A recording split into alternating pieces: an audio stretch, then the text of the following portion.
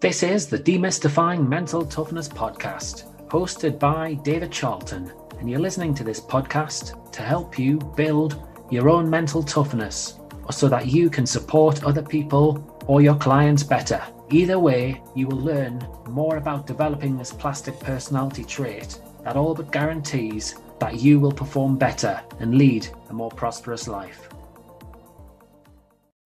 Hi, welcome back to the Demystifying Mental Toughness podcast with your host, David Charlton. So, how are you? I sincerely hope that your new year was a great one. Now, to start the new year, we've got episode 151 here of the podcast. And like the previous episode, it is going to be a compilation episode of a very similar format. Though today, the focus is going to be on football and soccer. So every guest that has appeared on the show to date has either worked in football in some capacity, they've coached, they've played, they're a sports psychologist and have consulted in football, and they're going to go on and share their key take home messages. I really do hope that you enjoy it and that you get some nice, timely reminders to boost your motivation at the start of the year. Yeah, I'll definitely say. I mean, I think it is being incorporated now. If I was looking at, um, think I was looking through some of the framework for, you know, some FFA B license or something here in Australia. And there is a kind of a psychological part of it. Um, what I'd say, you know, for coaches is is get on board and do some sports psych courses. You know, uh, just even whether it's online and through someone you know reputable who's been doing it for a long time. Um, really get to understand you know the different parts of what players go through. So you can see them on a human level and not just as objects playing the game. And obviously in this past year or so there's um you know been so many things like the olympics where um you know uh, you know athletes have said no to performing because of mental health. And you know, we're not just, you know, these little cogs in the wheel like athletes, you know, to to perform and entertain for everyone. There is an entertainment aspect, but when you take away the human aspect, you're turning athletes into robots. And that's inhumane. And uh, I'm so glad so many players have stepped up. I don't think that would have been possible even four years ago for a couple of those athletes to have stepped up and and um, spoke about their their mental health, which is still such a, a stigma conversation, you know. Uh, so unfortunately, so I'd probably say, you know, for coaches, um, really, like I would say, get to know your players a little bit more.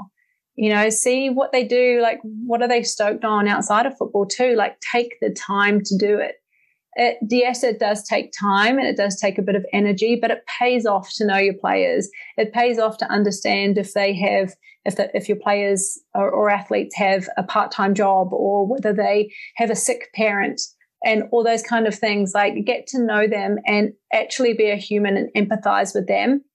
Be performance based, of course, and and results based. That's a, you know, coaching is a job, and you want results to keep your job. But there has to be that human side of it that um, you know I think is more prevalent now. But um, yeah, it's it's going to be a lot more important going forward for the mental health of players. And remember, players are humans. So, and you know what you you got to realize that as a coach, what you could be, how you could be affecting the player now. You've got to ask yourself: Is it positively in a positive direction for their future, or is it going to be negative and going to going to affect them negatively outside of their sport as well? Um, so you've got to be really self aware and understanding of the words that are coming out of your mouth, as well as, um, you know, the direction where you're taking an athlete. From a sports psychology perspective, number one is trust. Everything you do in your job must be built around maintaining and improving trust with players and staff. Never, ever do anything which threatens the trust. Number two would be timing, because there are days when you can offer opinions and solutions and questions, but there's days when you simply have to withdraw backstage, as I call it. And the third one would be also always look after your own energy and health and well-being and all that goes with it, because this job is about giving and not taking, and it's never, ever, ever about you. It's about other people, and that in itself can be really tiring. So make sure that your own, even if you're 21 or 61, make sure that your own health is not compromised by the service you're trying to provide. the three kind of messages that I would start with. Firstly, the the three R's. So if you're a practitioner entering any environment, I'd look to build rapport. That would then elicit better working relationships on both a personal and professional level. And then I think that then develops a lot of respect. And I think anyone working within a football environment needs to respect what you're doing. Otherwise, they won't give you the opportunity to show your worth. So that's something that I would really take away as a first message. Um, I think gaining that level of contextual understanding and, and football knowledge would be my second uh, kind of insight from from my own personal experience of working in football.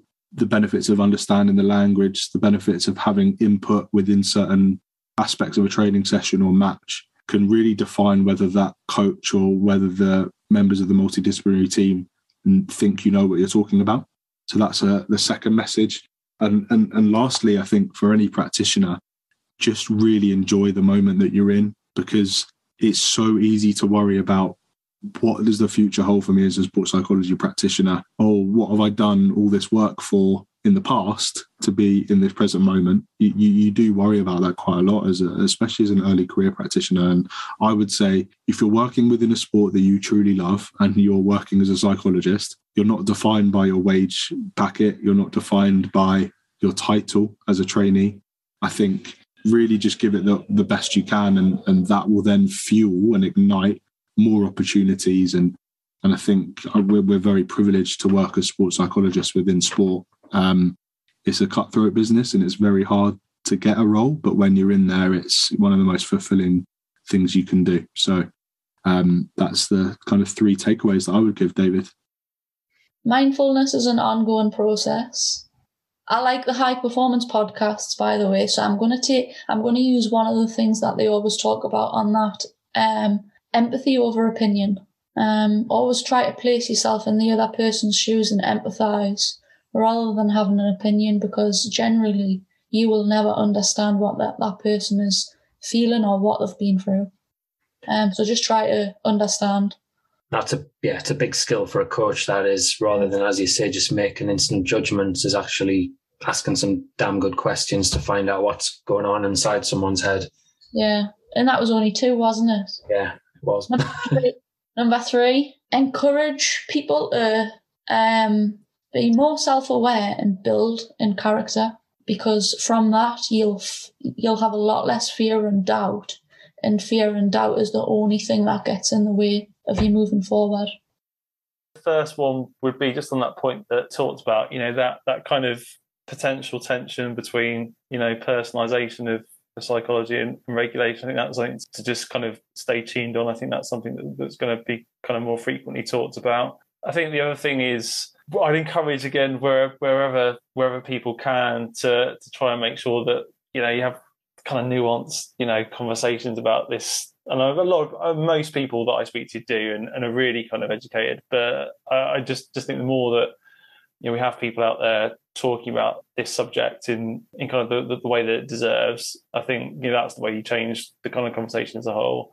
And then yeah, kind of thirdly, I'd say you know from my side, hope that there'll be more people kind of you know writing about this, and I think the media kind of has something to to kind of to, as a journey to go on here as well in terms of how it talks about the issue. I think it's starting, but again, I think it's um you know, there are a few writers out there that, that are doing some fantastic work, but um, you know, I think there's there's a lot more that could be done on on that front.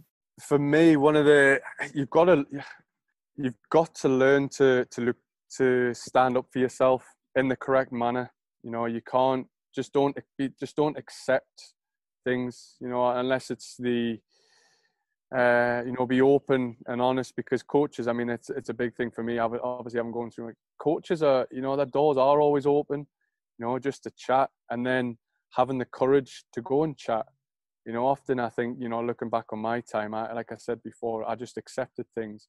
I didn't really have the courage to go and talk to to manager. I didn't have the courage to go and talk to um, to coaches or or anybody. But having that courage, because you know, it, we're all you know men at the end of the day who you know it, it's it's this stigma that we have that you know we can't be open and honest. Well, you're not open and honest first with yourself, but then with other people, then you know you're never going to get anywhere. Um, so for me, that it's not so much having three; it's just having one of, of that, having that courage to just to talk, just to to get things off your chest, um, because there is you know some unbelievable people in academies who are there to support you. You know, it might it might even be your teammates. Just go and talk to your teammates. Go and talk to your mom. Go and talk to your dad. You know, because if as soon as you start talking, there will be people there to help you get through whatever you're facing, um, whether it be a professional problem or a personal problem. You know, they will help you, and and that's a and it's a big thing that I I try to tell our guys out here in Phoenix is that you know we are always here. If it's 10 o'clock at night you want a phone call because something's going on with you and your missus or there's something playing just just pick up the phone and talk. Um, and I think that's the my biggest you know my biggest uh, advice to to people facing facing adversity.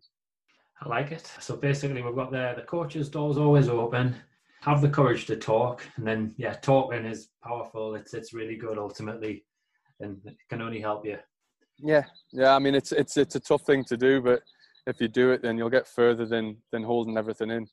Yeah, no, I completely agree. Uh, you'll you'll feel better, and coaches are going to know what's going on inside your head as well at the same time. So exactly, they're going to be able to help you.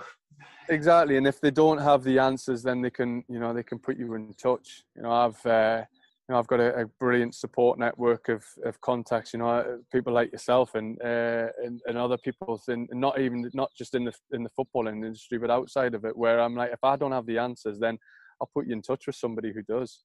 Um, I think that's the great thing about having, um, you know, this, this contact base is that I don't know everything and I don't, you know, portray to know everything, but there, I'll, I'll, know somebody that'll be able to answer the question for you. Um, and it's given the guys this courage to, to go and talk to a stranger.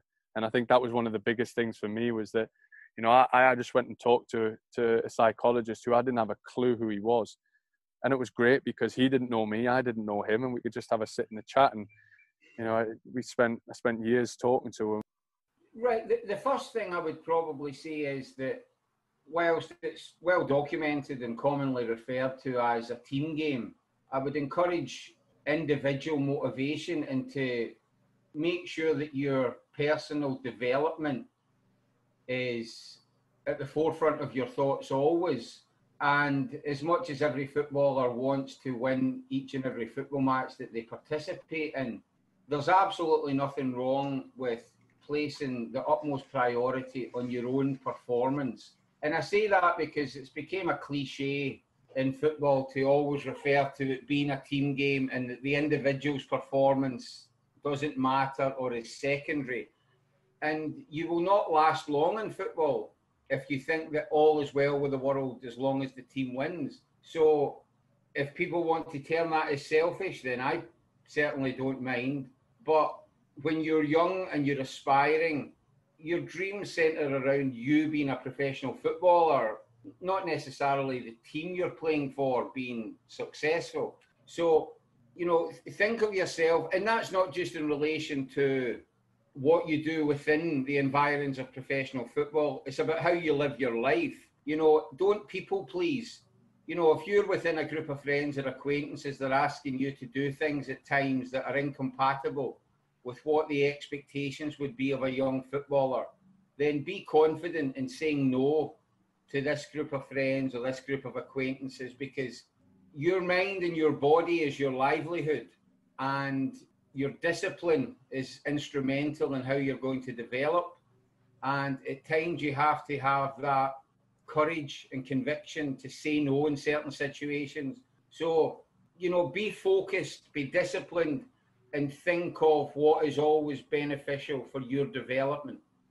Yeah i think never stop learning would be the key one. Um, you know I am obsessed with learning. There is so much to learn in this world. Don't think you ever know it all because you're not going to. And I think the minute you do think you know it all, um, you're doomed, really. So, a key takeaway would be never stop learning, learn as much as possible on the pitch, off the pitch, um, through films, through sessions, through people's conversations. I try and learn something from from anything really. Um, so yeah, that would be one key one. Never stop learning. The second one would be to never stop believing in yourself, um, whether you work in football or you don't, you know, or involved in football or you're not. Never stop believing in yourself. Um, I think you've got to trust your own instincts and and give it your everything really so my second one would definitely be that believe in yourself and and keep doing what what you're doing really and then the third one would be to maximize that potential so every day you know am i doing something that's going to help me get better um, what are the small gains that you could be doing to to maximize everything you possibly can to be the best person and player you can be. Um, and whether that's sitting writing in a journal getting out on the pitch practicing crosses um, learning from people's conversations learning from films that you know maximize your time which we don't get a lot of by the way. Life goes very quick. Um, every minute counts so maximize as much potential as, as possible really Gary talks a lot. Takeaway number one. Gary talk. Gary waffles. Takeaway two. um, yeah, I think I think like for me, it would be it would be don't get constrained by by frameworks. Like don't like read and educate and do courses, but don't copy and paste things into your environment. Like I think in essence sometimes we think that coaching is a is a pathway of steps. Coaching course first job win second job pro job head coach Mourinho. And I think instead it's it's like find out what you need to take and then find your personality in around that there. And then like talking about the psych like use your personality alongside the psych to actually impact people. And the advice that I always then give young coaches is start where you are and make the environment better. Like build a reputation um, as someone who's dependable who says what they're going to do and can actually coach. Like and i think the coaching is going to come back into vogue where it's going to be less talking and, and people that can connect. It's going to be a people business again and i think we're maybe going away from it at the minute. Um, it's just my opinion. I would say the three key factors or the three key takeaways would be one would be see everything as an opportunity to grow. I would say learning is the key factor to succeed in whatever uh, you want to succeed and whatever success means to you. And respect and love yourself um, because that is so important. I mean, you are within yourself 24 7. Um, you know no one else is gonna care for you as much as you do. No one else is gonna be with you 24 7 no one else is gonna do it for you and no one else should or could. And so you walk your way. Make sure that you you know while you walk it you are content with yourself. First one would be be humble which is something that i believe a lot of young footballers do get carried away with with example, signing your first professional contract because at, at an age of like 17, 18 or something, you're probably going to get, if you're getting a decent amount of money at that age, you can easily go and spend it on nice cars and stuff, but be humble. Just know, remember where you came from and don't get carried away with stuff that you haven't made it. When you get your scholarship or when you get your first contract, you haven't made it. Like football's a very short career and people don't realize that. So that would be my first point. Second one would be simply work hard and make sure you're doing something every single day to kind of progress each each each kind of day and get to your end goal, whether that be play in the Premier League, play for your country, etc. Set your goals and just focus on that each day. Uh, and then third thing is probably don't take it for granted because a lot of lads there was times where I kind of took it for granted, especially when I was injured and I was kind of thinking, oh, I'll be fine, I'll get back fit, and I'll sign a contract somewhere else and my football career will be absolutely fine. But it doesn't always work like that. I'm not saying that you're not going to make it as a pro. Like I would never tell anybody that, but be realistic and, and look down the line. And also think football's not forever. Football's a job up until what, like early 30s, late 30s if you're lucky. You've got to think long term. A fourth point, just enjoy enjoy it as well. You're, you're fortunate enough to be a professional footballer or a footballer, a, a scholarship footballer. So enjoy the experience. So I'll add an extra one in. I've missed your question up. Oh, never mind. Four four points. now, that, but to be fair, that last one's a, a really good one because yeah, quite it is quite easy to to lose the enjoyment in in what you're doing. Where you, I don't know, you work you work so hard, or you you don't necessarily have great relationships with people in your club or something like that. Yeah, I'm not necessarily sure about three. I mean, I'm hoping that within the, the, the discussion that we've had, there's takeaways in there, and I don't want to repeat myself in terms of some of those, but I'm hoping that within some of those, some of the discussion that we've had, there's some practical insights into how you might better support your child, how you might support coaches if you're a sports psycho or even just a general practitioner. Um, and hopefully, what we might look at doing when we're looking at kids who are transitioning from one age group to another and how we might support that proactively rather than reactively. Because I think a lot of the time we'll go, oh, this person hasn't adjusted well enough. What can we do? Actually, let's look at that early, do- early doors and go, well, what challenges might this person experience? Can we equip them with the necessary support and resources that they might need? Um, so I guess those are key takeaways. But for me, a key takeaway, and it's something that I always mention, is is the idea of relationships.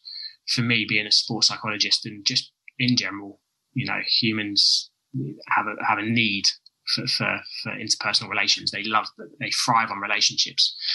Um, and nothing's bigger, nothing's a bigger determinant of our well-being and, and, and quality of experience in whatever we're doing than the, the connections that we have with the people around us. So for me, it's really important that the people that we're working with, we, we build those strong relationships with. And the basis of that for me is about listening. So for parents who are looking to support their child, just provide that space and listen for me is the most important one because sometimes I just don't want an answer.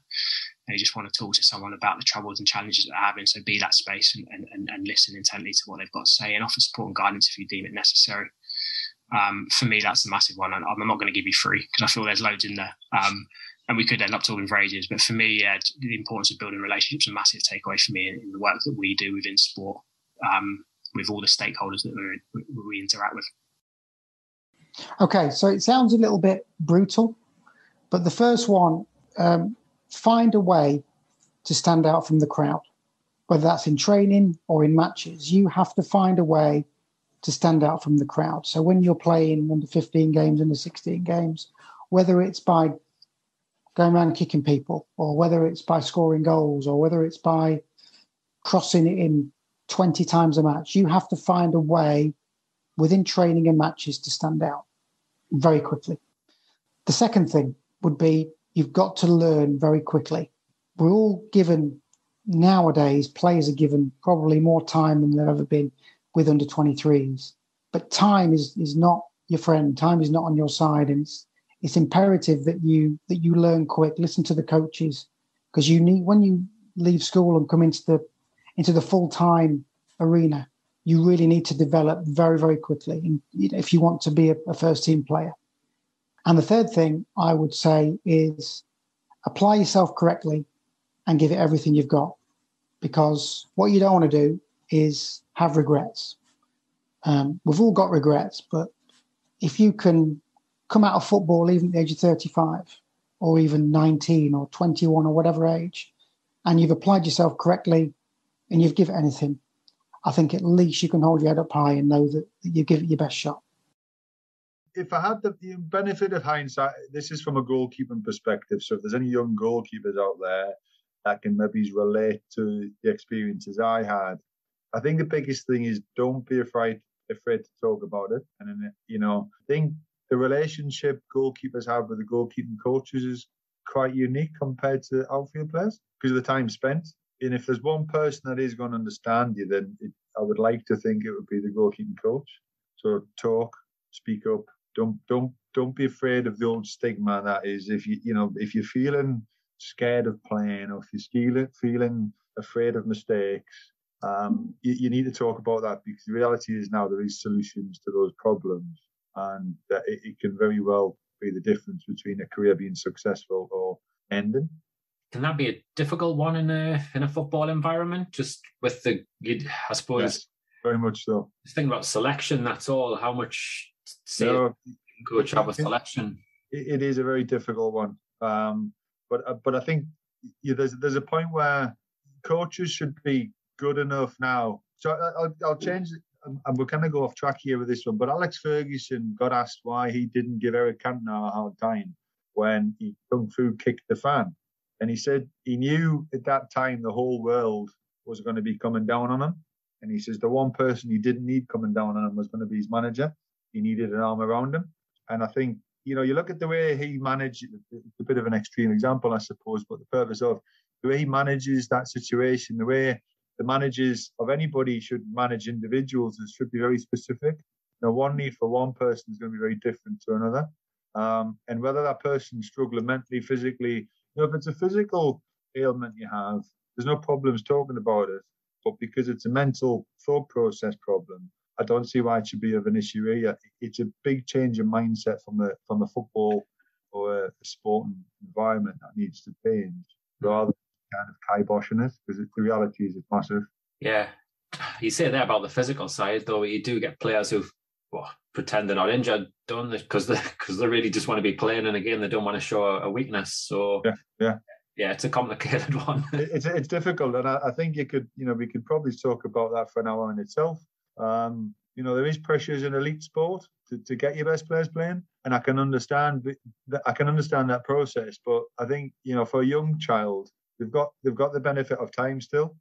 Um, it's not a week in week out requirement. Just at that point, like they, they still need to enjoy football. They still need to, you know, understand why they're feeling the way they do, and they still want to have that reason to get up on a on a day to go and play, rather than thinking, I don't want to do this. I'm scared of doing this. I don't want to make a mistake. I don't want to be shouted at. That that should be a thing of the past, as far as I'm concerned. Yeah, no, I totally agree. Um, well, yeah, as you say, we could be talking about that for hours. So, well, we'll skip it. You've got two more points.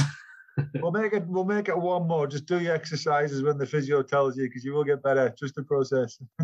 uh, like it. Fair enough. right then. okay, since you you're not following the, the protocol here and not doing as I tell you. I'll tell you what, I'll give you follow the process, do your exercises. Now there's two of them there, one, isn't there? So I like it. Well, the first one is um, work hard as you can.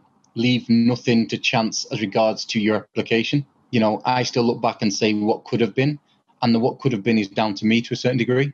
So always, if you don't make it, not everybody's going to make it. If you don't make it, make sure the finger's not pointing at you. It's somebody else's decision or somebody else's circumstance. It's not you. And I, I know myself. I, I, I didn't maximize my opportunity. I, I could have worked harder. I could have worked a lot harder. Um, so work hard, um, number two, be honest. And being honest is being honest with yourself as regards to, it comes back to that working hard thing, but also in situations, be honest with who you are as a person, be honest with who you are as a player, um, be honest with your teammates, be honest within the dressing room. And when you when you can do that again, there's no there's no ambiguity. If you're honest with yourself, you know exactly if you're good enough. You know exactly if you're not particularly good enough. And if you're not good enough for a certain level or a certain situation, that's not a bad thing. You just need to go and find somewhere where you can be if you want to carry on playing football. You know, you can, you're not only going to play centre forward for blooming Real Madrid. It's not going to happen. But you might be centre forward for Crawley Town and have a great career and do something that many people can't. But be honest with yourself. And and I, I suppose this isn't this isn't an, an, an overbearing statement. Be, be confident. You know, be confident. And the confidence comes in many guys. Confidence can be, mean uh, for me it means being happy. It means being confident in who you are, being confident in what you can be. And again, we'll, we'll probably come to this when when he came out of football. It was weird, you know. I, I got to the stage where I used to be a footballer called Julian, and then towards the end, I was Julian who used to play football. And see, identity shifted hugely. Yeah, massively. So you talked there about yeah, hard work, being honest with yourself, and then being confident. And the, obviously, the first one speaks for itself, but the the last two, it can be quite difficult, can't it, as a like a young player, to be honest with yourself because you don't really know yourself, and sometimes what what you want at times. And yeah, sorry, just jumping, you're right there, and that's what I've said, and I bring you right back to me. You know, I probably that's what I'm talking about. If you, you know, I suppose honesty and confidence, you could have you could have an overbearing one where you have a good support base. That's you know, try and find you know a good support base, whether it be a mentor or things you can bounce off, because that will probably feed all those three things that yeah. I'm just mentioning myself. So I suppose it's over. That could be one thing that that will feed all that. But yeah, you're right there. You don't necessarily have the devices as a young person. Yeah, and, some, and sometimes people, when it comes down to confidence, they just think black and white. I'm a confident footballer, or yeah, I'm a crap footballer, basically, and there's no sort of middle ground. So, mm-hmm. so yeah, you, you've got to you've got to be able to, like you say, find devices to to increase that and, and get better at it. Oh, um, okay. Let's go back over what, what we've spoken about. So um, I think um, I think in general, actually, and this would be a broad statement, sort of overarching everything that we've said, is you know number one, if you if you can give yourself some time each week, sit down with a pen and a bit of paper, uh, write psychosocial at the top of it, or biopsychosocial if you're a little bit more into the complexity here, and uh, and you know psychosocial plan at the top of the paper, and start to uh, write down what you do and what you want to do from a psychosocial or biopsychosocial perspective. You know, what's the what's the what's the psychosocial delivery here? Rather than seeing psychology in a corner or social in a corner which some coaching models tend to do and that's fine okay i would probably see it from the perspective of biopsychosocial driving and constantly interacting with the technical tactical and physical pieces. So start to consider what your plan is. From that plan i think tip number two would be try to, when you write stuff down and you research stuff, try to figure out how to deliver in the language of the athlete. How to, if we want to scaffold this, as in to support our players' learning of this stuff, then we want to simplify it. So we want to introduce this stuff in a in a language that players can grasp, understand, and potentially engage with and implement. So, watch your language. Have a plan, number one. Number two, you know, mind your language. Keep it as simple as you possibly can, but no simpler. Number three, I'll tell you what, Dave, we'll do something different. what, what would be your third thing from what you've listened? What would you add to those two things? I think I would go for focusing on the process. Cool. So, yeah, try to park the performance to to one side, the score, the mistakes, that side of thing, and as you say, this relentlessness, um, things that you can control. Ultimately, that that for me would be the third one. I love that, and and you know, it's interesting, Dave, that it's interesting you picked that because I think back because we got to know each other at England Golf, and I think back to the first year I was involved in a coach who uh, I had, a, had and have a great relationship and an enormous amount of admiration for, and he's a world class, a world class coach. He really a world leading coach, in my opinion. And one of the first comments he said to me was, it was actually probably the only time in the three years I actually worked with England Golf, I actually respectfully disagreed with him. He said, Oh, Dan, you know, because I was kind of out trying to, it was one of our first conversations and I was trying to grasp, you know, where he wanted me to come from and, and what he, he might want me to do. And he said, you know, players are just fed up with hearing, stick to the process, stick to the process. And, you know, maybe we've got to mix that message up. And, and, the, the thing is, is I think we as sports psychologists continue to say it, not only because, you know, there's nothing true as such in, in sports psychology and possibly nothing particularly true in life or very little, but um, it, it's probably the most effective and efficient way to, to view um, uh, the best approach in towards performance. And I just think that what I'm trying to say here is I just think players are really, by and large, poor at focusing on the process, especially under pressure, because everything about pressure takes you away from the process.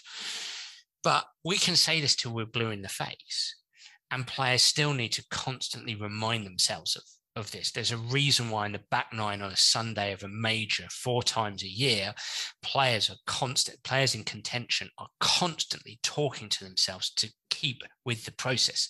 Not least Phil Mickelson this year, who won the USPGA, and on the seventh tee, his brother who was caddying berated him a little bit, sort of saying, "Hey man, if we're gonna get if we're gonna get a W here, we're gonna win this, we're gonna get out of here with a win. You got to start swinging with commitment." You've got to start committing to your swing, committing to your shots. That's a process, right? And that was Phil going, ah, yeah, bingo, right. And then he started to straighten up and then started to knock it past Brooks, right? That's how powerful that message can be. And I think that coaches are getting a bit scared of, or, or even don't know enough about, but a bit scared of, of process. And they're still, certainly in the industry, in the football industry, the soccer industry, they're still all too oriented towards outcome and performance. I rarely walk into an environment, a coaching environment in football, where there's a predominant um, uh, message around task and process and mastery over ego, uh, outcome, and performance factors out of a player's control. We're still not there yet. So I think you're spot on. I think it's it's a message we need to continue to bore people with. For me, um, ask questions, um, be focused, um, and when I say focused, be focused on your chosen sport, but not only that, be focused on yourself, your own well-being, um, and um, don't be afraid to kind of make mistakes. You're not always going to get it right. You may sign for a club and think this isn't right for me. Um, and it may be time for you to then look for another club and, and things like that. I mean, it, you can obviously ban that down to many different things in terms of kind of don't be afraid to make mistakes, but on the pitch, do what you need to do in terms of kind of portraying yourself in the best light possible. Everyone's got their own style of play. Obviously, managers will want you to play a certain way. Listen to your managers, but be authentic to yourself as well. Be that free spirit. Obviously, when you're playing football with your friends at school or in the playground, at the park, or whatever, you're playing off the cuff. You're doing things that come naturally to you. Go and uh, kind of relay that on the pitch. Bring that kind of uh, raw emotion, those those things that you do naturally in terms of your ability onto the pitch as well. And you'll notice the difference when you start being robotic and things. You're playing out of your your comfort zone. You're not doing things that come naturally to you. That's when your kind of performance will dip.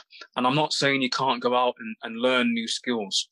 I'm not saying you can't go out and learn how to head the ball or how to cross the ball correctly and things like that. You can learn those things. And when you're learning, you will naturally pick up your own best version of how to do those things because you're obviously going to learn in a way that, yes, the coach is telling you, but you're going to pick it up and understand it the best way you can based on your own personality and understanding. So, yeah, I'd probably say those three things, but then again, I could give you another 50. Um, it's, it's so hard to pinpoint it to three. Well, that was a fun episode to listen to. I really enjoyed it. I hope you did too. I'd like to say a big thank you to the guests who've played a big part in the creation of the episode. I wonder, you know, what was your favourite takeaway message? Feel free to let me know via email info at sport-excellence.co.uk or through one of the social media channels. Also, I'd be hugely grateful if you can spend 20 seconds, maybe 30 seconds of your time to give the podcast a positive rating. Five stars if you can, with some favourable comments using iTunes. This action really helps us improve the podcast, reach more people, and affect in a positive manner people's lives. Until next week, where we have another episode similar to this with a different theme, have a fantastic time. If you enjoyed this episode of the Demystifying Mental Toughness podcast with David Charlton, do check out my website, sport-excellence.co.uk, and my online sports psychology resources. The Sport Excellence website has essential resources for anyone looking to build their own mental toughness or the mental toughness of their athletes or teams, or if you want to achieve peak performance more often or optimal functioning. The Sport Excellence website has everything you need to keep moving forward and thrive. So go on, head over to sport-excellence.co.uk to find out more.